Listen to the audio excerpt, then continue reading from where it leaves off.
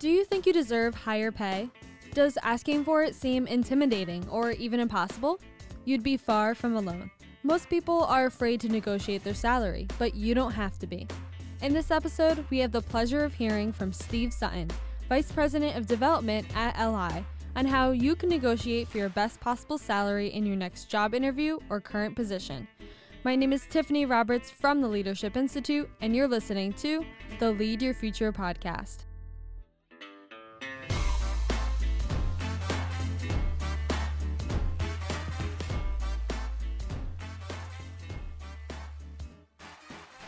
Are you interested in running for office? Want to work on a campaign? At the Leadership Institute, it is our mission to increase the effectiveness of conservative activists and leaders in the public policy process. We offer over 40 different trainings, including campaign management school, on camera TV trainings, and writing workshops. If you want to make a difference in public policy, visit leadershipinstitute.org. That's leadershipinstitute.org. Hey guys, thank you so much for joining me for the 11th episode of the Lead Your Future podcast. I cannot believe we've already made it this far. If you're enjoying these episodes and this podcast, please click the subscribe button. And also, you can follow us on Facebook and Instagram at Leadership Institute and on Twitter at Leadership INST. Do you have any topics that might interest you? I would love to hear your feedback, and if you'd like to hear a future episode of your topic of choice, you can email me at troberts at leadershipinstitute.org to send in your recommendations. Now, on to salary negotiations. So, first off, why should you negotiate your salary? According to a Salary.com survey, 62% of people almost never negotiate their salary. People who do usually make 25% more than they expected, and they find success increasing their salary 85% of the time. Ask and you shall receive. Remember, you and your employer are a team, so negotiation should be a conversation to determine how to benefit both parties most. So let's take a look at how you can aim for the best negotiation salary in these three crucial steps analyze, initiate, and motivate. First off, we have analyze. Always research the position in detail before the interview. Know the pay range well and know where you should fall into it. Use oddball numbers that are as specific as possible. A study from Columbia University showed that people who use specific numbers in salary negotiation almost unanimously made more than their peers. That research really pays off. According to payscale.com, a good way to determine how much you should ask for in a position that's new to you is by determining the average salary for that job and calculating 85% of it down to the dollar. So both Payscale and Salary.com can be a good starting point for research. Next up, we have initiate. Knowing when to initiate is vital. Never talk pay at the beginning of a process. It's best to let them start the conversation before you initiate the negotiation. So, in a sense, speak last. As a general rule in negotiation, the first person to say a number loses. So, once they make an offer, it's time for you to counter. But don't be afraid, countering an offer doesn't make you look greedy. In many cases, it actually garners respect. Particularly in sales roles, they will often lose respect for you if you don't. Austin Belcak, he is a founder of Cultivated Culture and an expert in negotiation and hiring practices, says he has never heard of someone losing out on an offer because they asked for too much. So don't be intimidated. Next up, we have motivate. Honesty is vital. So be honest about what you make, what you've read about the job, and your qualifications. Give them good reasons to pay you more. Expenses cannot be the main reason to ask for a bigger paycheck. Show them your worth. This is where your research really comes in. Your purpose is paramount. Make it clear how and why you care about the success of the organization and your ability to contribute. So be sure to avoid ultimatums. Never say that you can't go below a certain amount. That way, if they give you a final offer and you accept it, you're not going back on your word. Finally, remember that pay isn't the only item on the table. More or less vacation days, varying work schedules, and particular hours are all negotiable as well. Remember that negotiation is a conversation. You and your employer are a team trying to figure out the arrangement that serves you both best. So, again, there's nothing to be afraid of. You're almost guaranteed to make more just by asking. So, just be sure to do your research, relax, act natural. You've got this. Now, stay right there. In less than a minute, I'm going to sit down with Steve Sutton and get his input and best advice on salary negotiation. My name is Tiffany Roberts from the Leadership Institute. Don't forget to press that subscribe button and leave a five star rating. You are listening to the Lead Your Future podcast.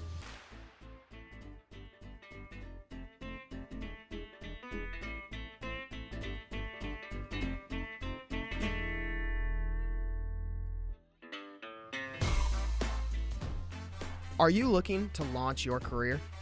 Do you want to gain real, professional experience while sharpening your media skills? Then apply today to be a Studios intern here at the Leadership Institute.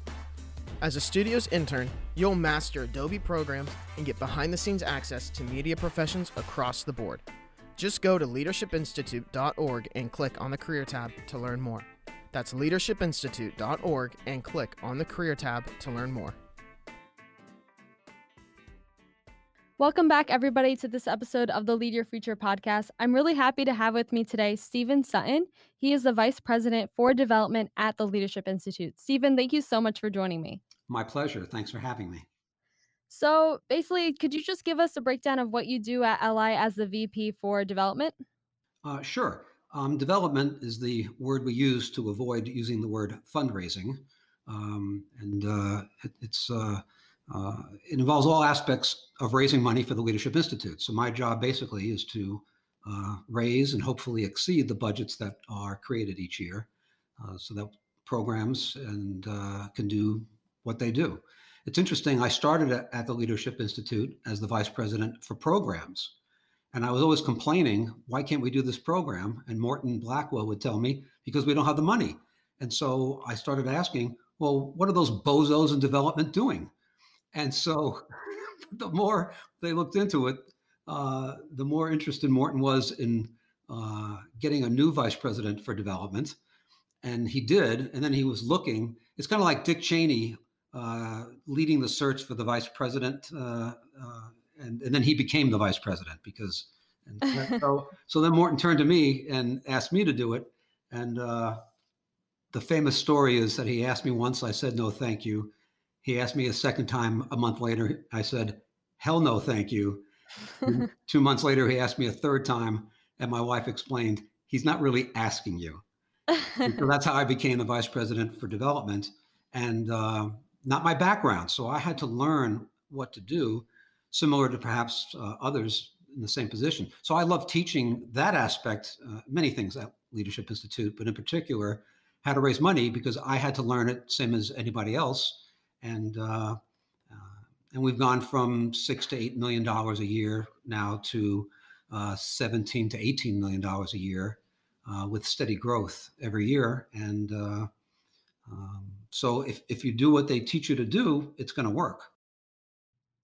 Yeah, that's awesome. You've been, a, you've definitely been at LI for a good amount of time. So I think you're definitely the best person to ask um, for this topic. But what's kind of your experience with hiring and salary negotiation? Well, as in most things, every situation is unique to that situation. So everyone's going to have their own uh, circumstances, experiences, and situations. And so the training that we provide in, in most cases is, is general training. So there are certain principles that you need to understand, and uh, and then you're going to have to adjust according to your situation. The biggest difference is when you are applying for a new job and the salary negotiation that ensues, and if you are trying to get a salary increase in the job you currently have. So I think we should focus on if you're getting a new job, and uh, because many of the things that you need to do when you're asking for a raise in your current job will be incorporated by the overall discussion of when you're applying for a different job, or in the case of someone coming out of college, your first job. So, when you are um, doing getting into the salary negotiation process, when you are applying for a job, what part of the hiring process do you start negotiating your salary? Actually, toward the end. Um, and, and sometimes the employer will try to push you at the beginning, uh, but we can talk about that in a moment. Um, In most situations, this is broader than a discussion of salary. There are three phases to these things there's the before, during, and after phase. There's a before, during, after phase on uh, doing your resume. There's a before, during, and after phase uh, of an interview. And there's a before, during, and after phase for salary negotiation. Uh, the first two are different lectures, so I won't go into those. But for salary negotiation, there's a before, and that's before you're even talking to them. Then there's a during, during the interview, usually, and the, during the negotiation. And then there's an after portion to this discussion as well. So when you uh, so we talked about salary negotiation with uh, during a hiring process, but what about when you recently started a job? How far would you say is a good a good amount of time? How far into a job is a a reasonable time to ask for a raise?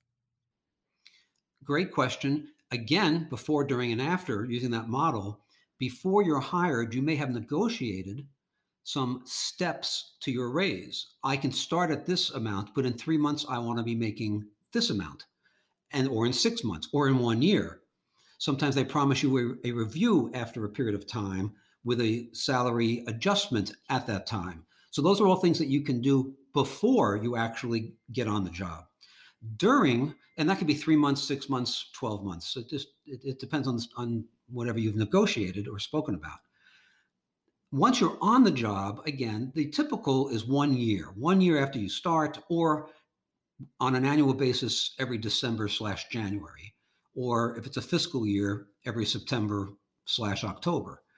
Whatever, again, it's it's unique to the position and your situation. Some companies will give you a, a review 12 months after you're hired and negotiate salaries and increases then. Other companies will wait till the end of the calendar year or the, their fiscal year because they're preparing their budgets then. And there's a different dynamic. If they're if you if they're willing to give you a review every 12 months, chances are there's money in the budget for raises from your first day.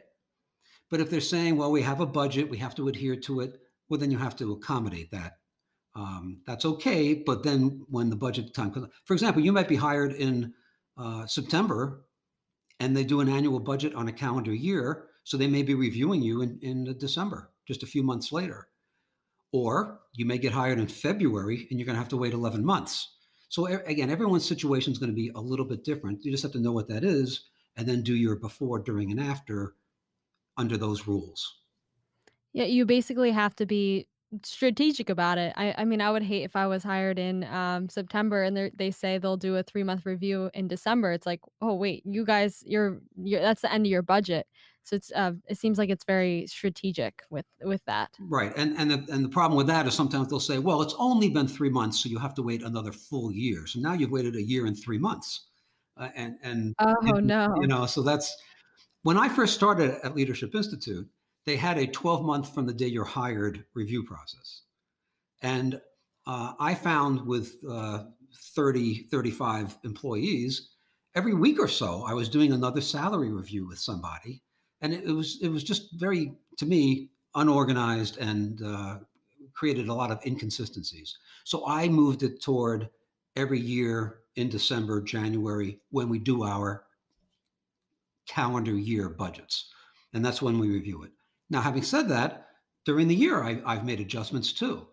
Um, and, and so, you know, there's no one hard and fast rule.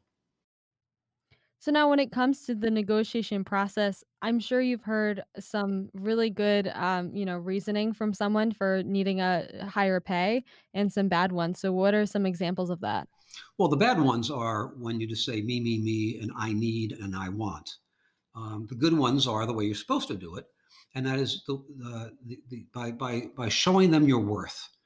Um, and this is the before. In the before portion of this, again, there's two uh, there's two situations: current employment or applying for a job. So um, if you're currently employed and you're looking to do this, you have to do a good job.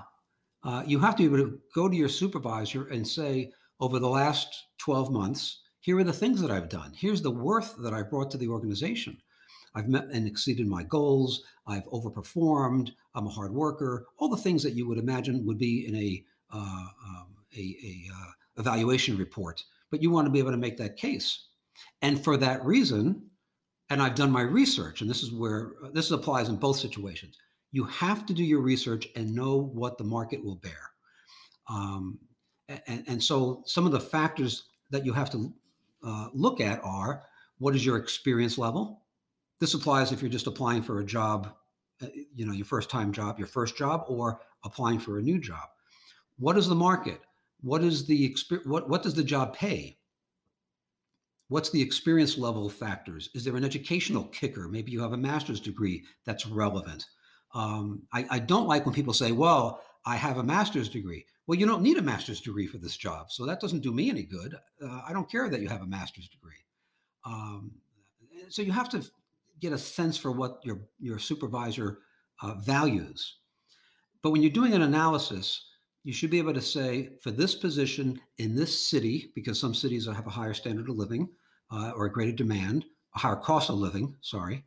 Um, in this city, with this experience, I understand that this job pays X dollars or that the compensation is X dollars because a job is not just salary, it's also benefits. And we should talk more about that in a minute uh, when we get to that.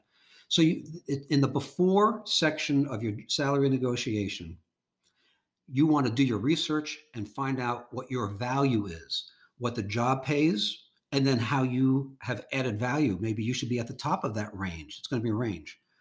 Why you bring a certain range. I brought in these accounts. I've excelled and and uh, and I've done the job. If you've done a poor job, it's going to be very hard for you to get the raise that you want. So now when you come into that negotiation, you mentioned showing your worth. How would you recommend you show your worth to your employer? Should you come in, you know, prepared with a document um, with, you know, outlining what you've done with your in your position, or is there another way to do that? Just, you know, just talking with them during the meeting. How how should you go about that? That's a great question because um, there's kind of two answers. I I like having a document, not necessarily to hand to the supervisor, but so that you don't forget anything you're going to be nervous. And so to have something written down that you can uh, refer to as kind of your notes is fine. It does not make you look unprofessional. It makes you, I think, look professional, that you're prepared. There's certain things that you want to highlight and you don't want to forget anything. So bring in something with you.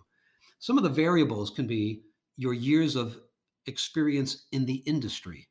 Another is your years of experience in leadership within the industry. Some could be the geographic location. We're in a high cost area. Your education level, I mentioned, uh, your skills, and then any cert- certifications or licenses that you may have, which are relevant. Again, some people say, well, I've been licensed to do such and so. Um, I'm familiar with a situation where somebody got a graduate degree and used that to leverage a higher salary, um, which was ridiculous because they didn't need the graduate degree. So we're just, you know, uh, I don't want to be in the position of being asked to pay for something that is of no value to me.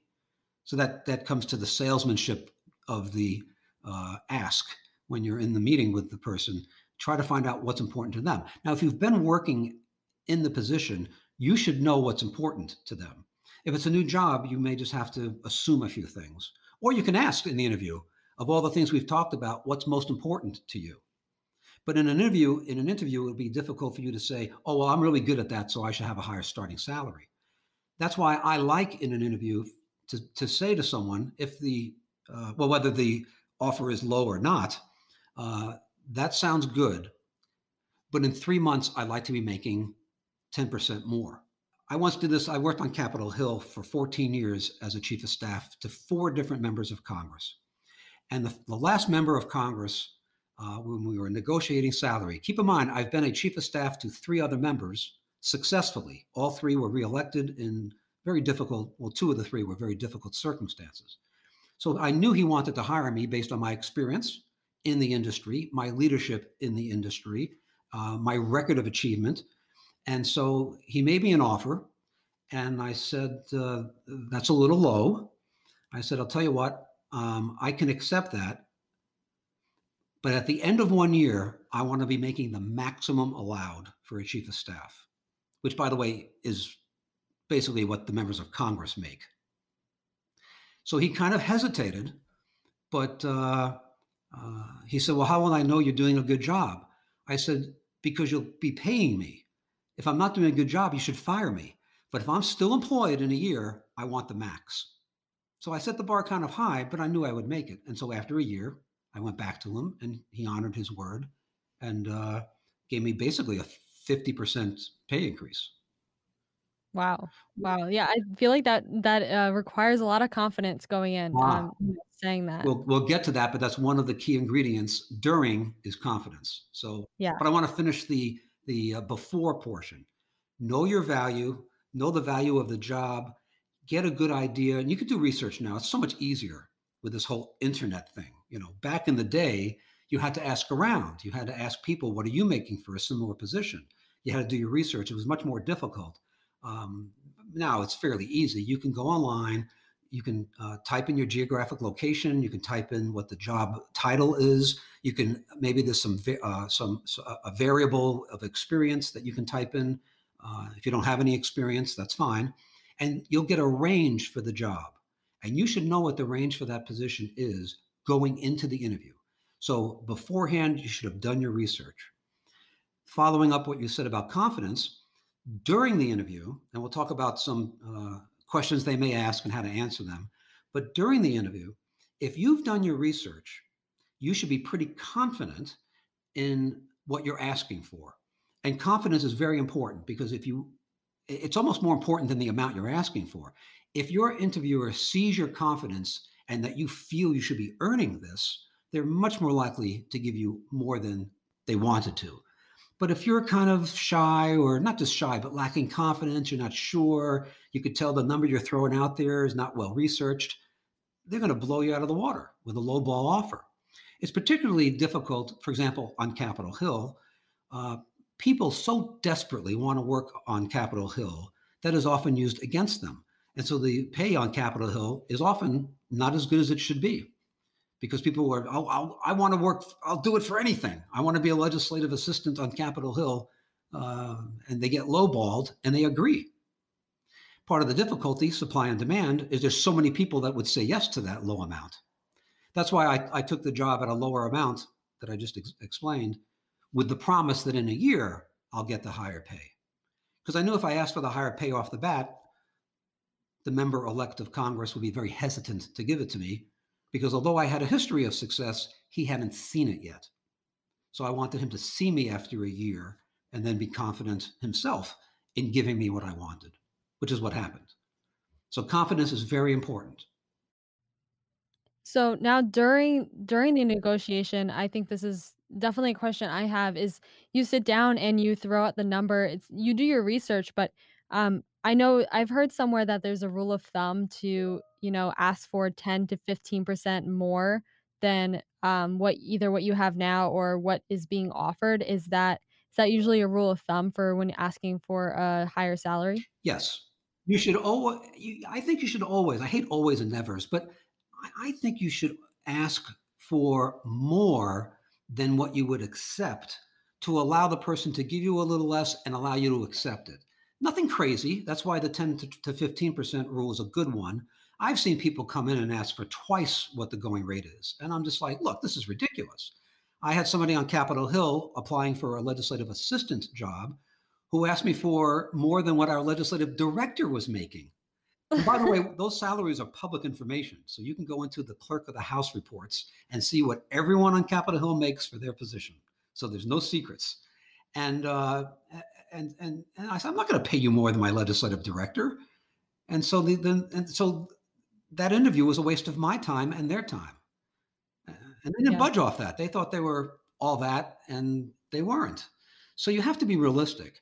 But but 10%, it's just like negotiating real estate. If you come in with a low ball offer, 10% below asking price is reasonable. You come in with 50% below asking price and you're not going to get a counter offer. It's come in confident, not cocky, basically. That's right. And, and, and realistic and show that you've done your research. If you've done your research, 10, 15% higher than, than, uh, than the research is not crazy. And uh, at least you're throwing a number out there. As far as current salary, it depends. I mean, you might ask for more if uh, you feel you were lowballed to begin with and you've really done a great job. Uh, we'll get into in a few minutes the actual negotiation and talk about other than salary things that you can negotiate because because there's some flexibility that, that the employer may have there uh, that you might not consider. Everyone wants the money; they want the cash, um, but there's other things to negotiate. So we can talk about that. Yeah, I mean that's what I I would love to hear about that. Um, about what what else can you negotiate besides the salary? Some of the things that you can ask for, certainly salary is important, but there are other things that that matter to people. What matters to you is what's the most important thing. Many organizations do uh, tuition reimbursement, and that could be for uh, your past debt.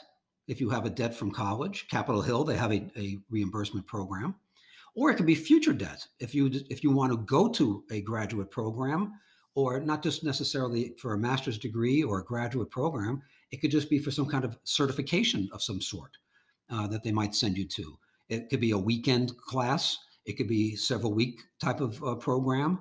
Uh, so know if you want to get ahead in your profession, in your industry, uh, there might be some certifications that are valuable, that cost money, that you can get your employer to pay for.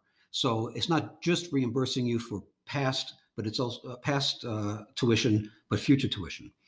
Um, in that same vein, there could be professional development or additional training uh, that may not cost the company any money, but still that you want some kind of a track to future promotions um, within your uh, job title. Uh, there's also mentoring and coaching that they might be able to offer you. Uh, some closer relationship, they might pair you up with someone to mentor you that might be of tremendous value to you. Uh, they should do that anyway, but uh, you should discuss that. Uh, for some people, childcare. Uh, more and more people are, are, are, having families, and so um, actually, fewer and fewer are. Uh, it should be uh, uh, doggy care, maybe for, uh, for people. But having childcare options, maybe there's some kind of subsidy or payment for childcare. Um, health and fitness are important. Some companies will pay for gym memberships. Um, some companies provide bonuses for people who stop smoking. Uh, there's all sorts of things in that uh, area. And then the one that is really important to people uh, is flexibility on the job. Uh, maybe working from home, if not every day, one day a week, two days a week. Maybe flexible hours, maybe coming in a little later and working a little later uh, to avoid rush hour. Uh, things like that can be tremendously valuable to employees. And that's something you can negotiate. There's no monetary value on it, but it has value. And so it's not just um, salary and healthcare and benefits. Always include the total amount that you're compensated in any salary negotiation. They may ask you, How much are you making now? Well, that's not the question that you should answer. It's what is your current compensation? If you're making $50,000 a year, but your health benefits are another 15,000 and uh, there's other benefits that you're getting, uh, you add all those together. And if, and you're, if you're currently employed, you should be able to ask somebody in HR, uh, what's my total compensation worth? A good rule of thumb is to increase your uh, salary by a third. And that's your total compensation typically. So if you're making uh, $60,000, your compensation is $80,000. And so when you're negotiating salary, that's what your answer should be. Well, my total compensation now is $80,000.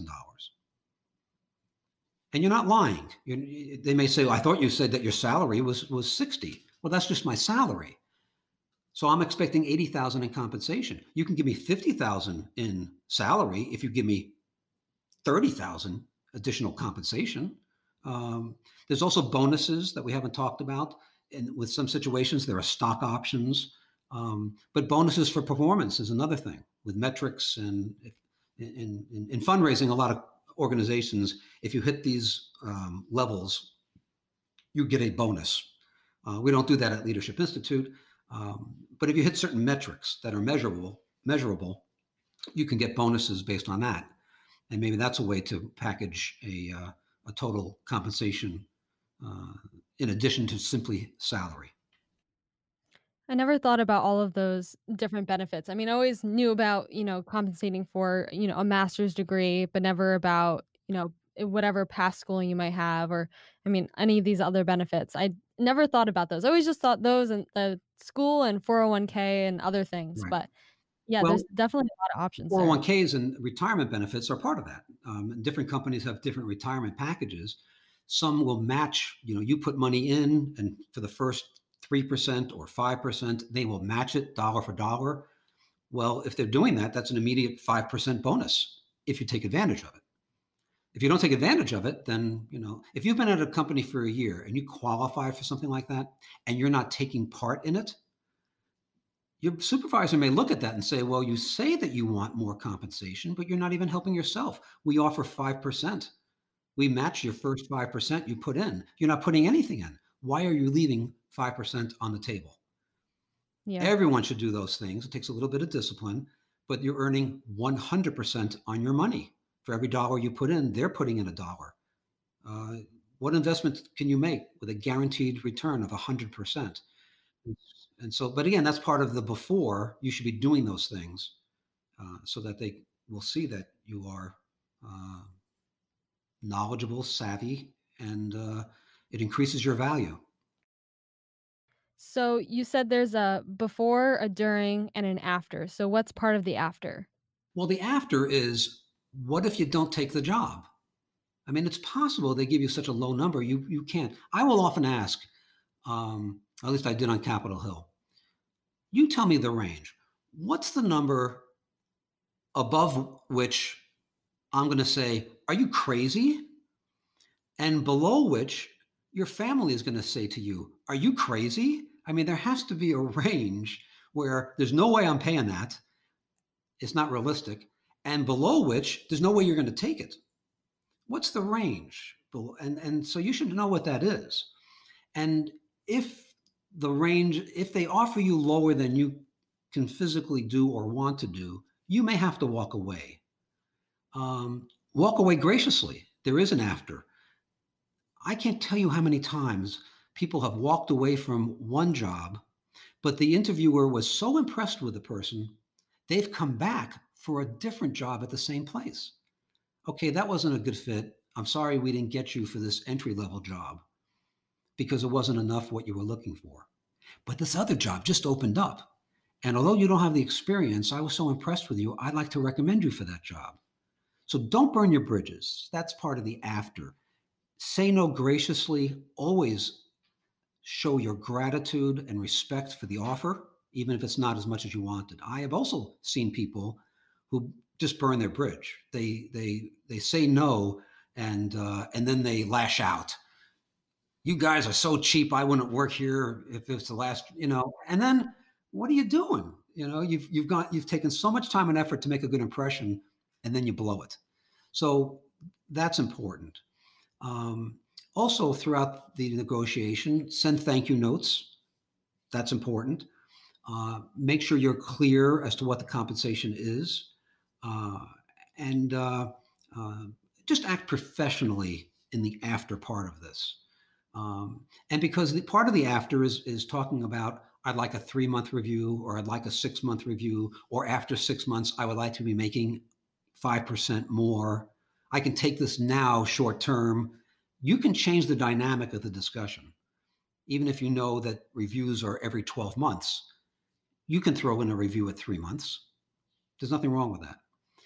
And another part of the after is try to get all this stuff in writing because a promise made to you today, and then the person who promised it gets fired in a month, but you're still there. And then you go to the new supervisor. Well, so and so, who you just fired, promised me 10% in another week.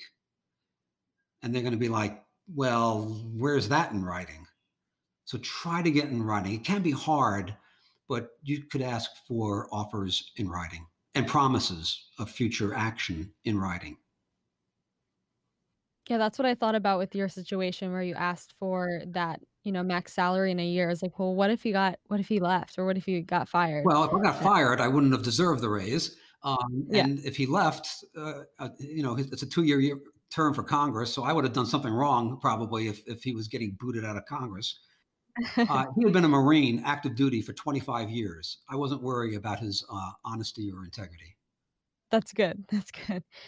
Well, uh, Stephen, that's all the time I have for today. Um, I really appreciate you coming on. I've learned I learned so much. I honestly didn't know much about salary negotiation. And yes, I might actually use it myself. so thank you so much for joining That's us. That's fine. And uh, you and anyone else are welcome to reach out to me. Again, I work at the Leadership Institute. Uh, for those listening, if you can't figure out how to contact me at the Leadership Institute, you don't deserve to talk to me. So uh, uh, if you can figure it out, I return all phone calls. I'm happy to uh, uh, to to uh, to help you out.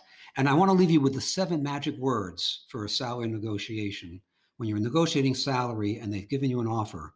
And these are the seven magic words that have gotten people significant raises. Is that the best you can do? And if you ask that, you've got to then be quiet and just see what happens. You might be surprised. Thank you so much for listening to this episode of the Lead Your Future podcast. If you like this episode, please subscribe, share, or leave a five star rating on iTunes, Spotify, Overcast, or wherever you get your podcasts. It is the Leadership Institute's mission to increase the number and effectiveness of conservative activists and leaders in the public policy process. That's why I bring you on camera TV trainings, public speaking workshops, debate workshops, speech writing workshops, and so many more. If you're interested in taking one of these trainings, feel free to check out our website at leadershipinstitute.org forward slash training. The Lead Your Future podcast is produced and edited by Tiffany Roberts with support from Jared Cummings. Advertisements by Alexander Chang and Christopher Olson. Executive produced by David Fenner and Morton Blackwell. If you want to learn more about the Leadership Institute and see behind the scenes photos, follow us on Instagram, Twitter, and subscribe to Leadership Institute on YouTube.